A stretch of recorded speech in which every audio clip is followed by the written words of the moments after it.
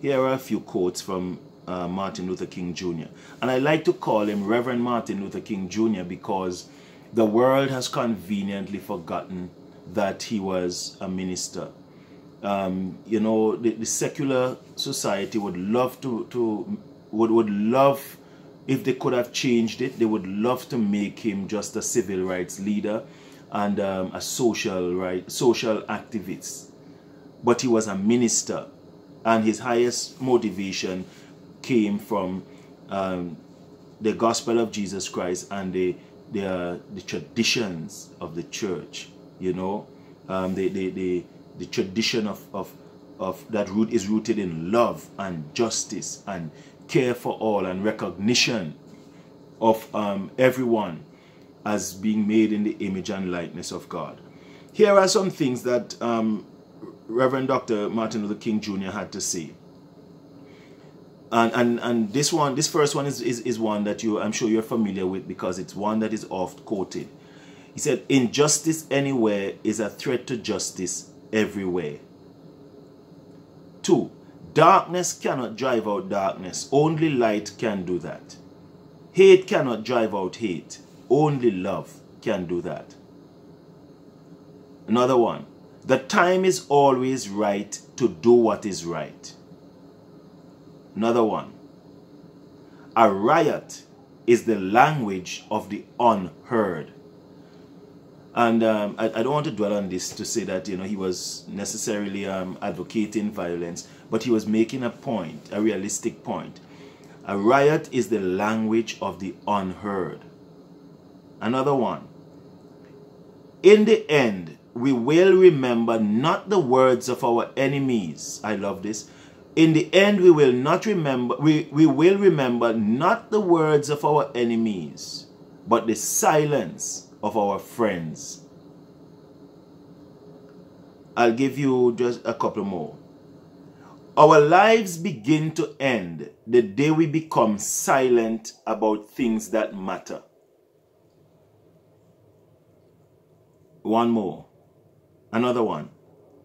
Um, life's most uh, persistent and urgent question is what are you doing for others? And uh, there is this other one that I think is fairly fairly well known too. We must, we must learn to live together as brothers or perish together as fools.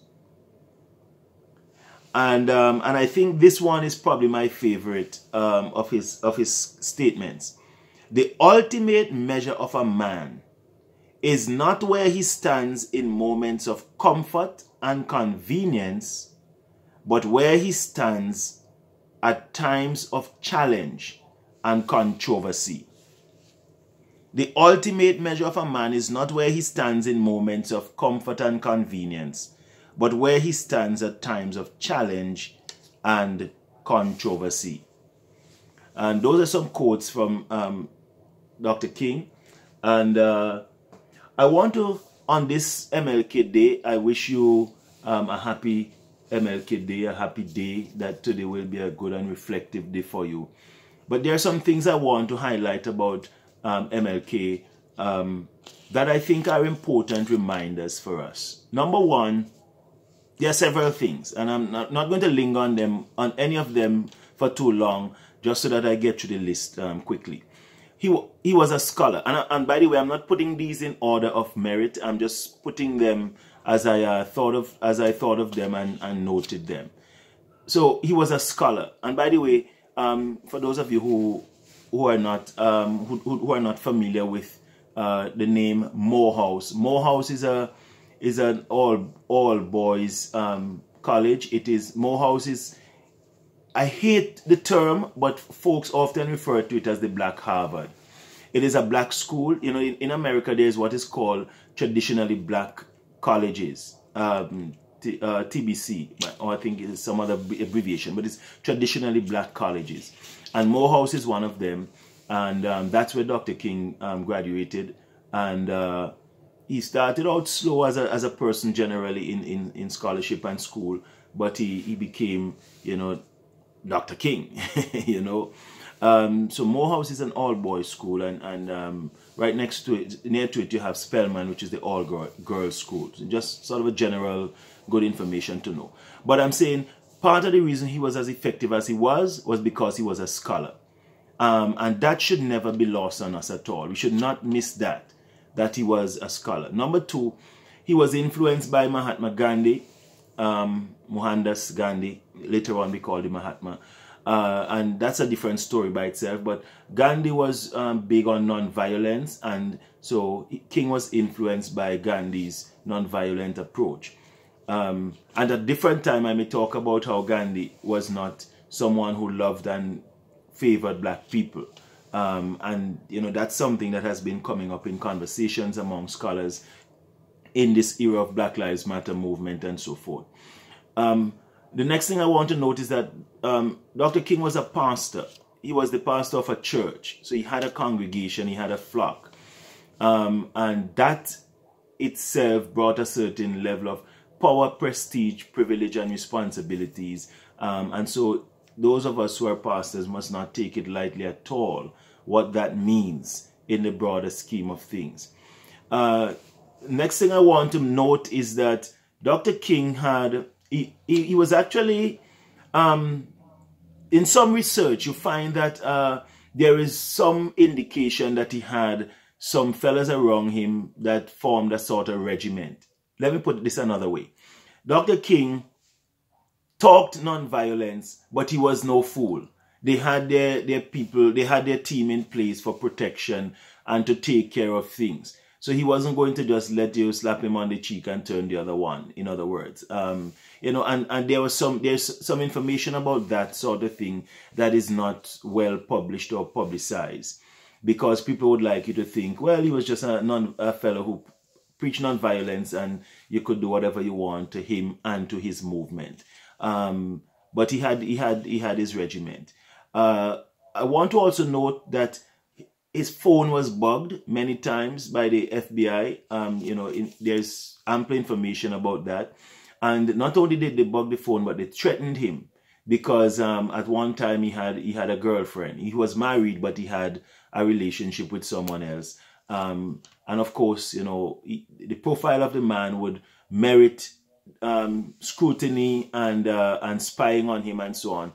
So they found out and they threatened him. In fact, there is some documentary documentary um, in which it is noted that they actually the FBI actually encouraged him to commit suicide because of the, the level of shame that they were going to bring on him on account of having discovered that he he um he, he stepped out of line uh, in terms of stepping outside of his marriage boundaries. Um, but that just that goes to show you um, how far the systems would go and I'll end my comment uh, um, shortly with, with um, talking about the importance of systems. But the other thing I want to note is that, um, and I really, really feel strong about this. For years I've been saying this, that they, I have a dream speech and um, people promoting this Dr. King as um, chiefly a man who had a dream, a dream for unity and all love and everybody getting along together in America uh, I have I have believed for years, and I still believe this up to today, that it is the greatest injustice um, and the greatest discredit that is done to Dr. King's legacy. His work was not about, was never really about um, some big dream of everybody getting along and, and, and black and white children holding hands and playing together and so on. That was not his goal. It was not, it was, I mean, that was not his ultimate goal and it was not the heart of his work. He was about justice. It was not about just racial inequality or racial inclusiveness. It, it was about um, justice and it was about uh, the empowerment of his people and the respect for his people. Um, and of course, with that would come the idea of, of people getting along. But getting along wasn't the, the, the, the chief goal. That would have been the, um, the benefit of the goal. Now, um, in saying that, it needs to be pointed out that Dr. King created a lot of trouble for himself. Um, you see, let me back up. The I have a dream speech is, you know, it's held up today because that's comfortable and it's wonderful and it's utopia and kumbaya. People love that. But he got himself into trouble when he when he stepped out to support the sanitation workers um, so that uh, fighting for fair wages for them. When he opposed the war in Vietnam in 1955 because he was one of the few persons and the most prominent American who stood against the war and he was he was ridiculed and um, he was really um, called out on that because you know they, they considered it un-American and unpatriotic. Patriotic. So those are things that he, he did to get himself into trouble. The, the bus boycott, when he told, and the boycott of, of white businesses. So he said to them, that bread you all like, Wonder Bread, stop buying it. This other drink you like, stop buying it. We're going to boycott the buses because we're not sitting on any back of any bus anymore. We're going to walk. And the folks had hoped that they would march and um, they would protest for maybe a couple of days or a few weeks. But when they realized it turned into over a year, uh, so it started hurting them in the pocket, and that's when they realized, all right, we gotta we gotta back up and do something, and we gotta do better than that. So so so it was when he took social action that were um, influential and impacting, that's when he got into trouble. And that's when they decided they had to get rid of him. Because the Bible says in Ecclesiastes 10 19, and I've said it, I, I say this all the time, and I've said it a thousand times in this forum, that the Bible says money answereth all things. Put it another way. When you touch certain, when you touch the finances of the oppressors, then that's when you get into trouble. They don't mind all that you have to say as long as what you have to say doesn't affect their, their, their, their, their purse. So let me close with two things. One is Dr. King was quoted to have said, I'm afraid that I have won the right to um, incorporate my people into a burning house. After, and this was said by um, Harry Belafonte, which by the way, um, I mentioned him earlier and I said I'll come back to him when I'm, in, when I'm closing. So let me come back to him. He was one of the people who was a real friend to Dr. King. Harry Belafonte, he's a Jamaican, um, he's a Jamaican, been here for um, all, all, almost all his life, came to America very early. He was the one who popularized Calypso and so on. And some of you know his song, Come Mr. Tallyman, tally me banana, daylight come and me want go home. Um, and so he's a, he's an icon in America and an icon from the island of Jamaica in the West Indies. Harry Belafonte actually was one of Dr. King's friend and a friend in, in need, a friend indeed. He committed himself because he was a celebrity. Um, he committed himself to paying for the education of Dr. King's children. And so um, Dr. King had that confidence that if he should be killed, or um, uh, as, as was a possibility, that at least one man like Jonathan would be there to do good to his legacy to his um to his um and um his descendants. And Harry Belafonte actually um paid for help to help to support the education of Dr. King's children because you know when he died his children were they, they, his children his offsprings were little children when he died and so um uh, Harry Belafonte said in one of his interviews he said that um, after they won the, the right to include black people into um into a number of, of of um, places and things that they were denied. Um, Dr. King uh, seemed very troubled. They, they, were sitting together and he said, Dr. King looked very troubled. like something was bothering him. And he asked Dr. King, hey doc, something is bothering you. What's, what's, what's the matter? What's, what's wrong?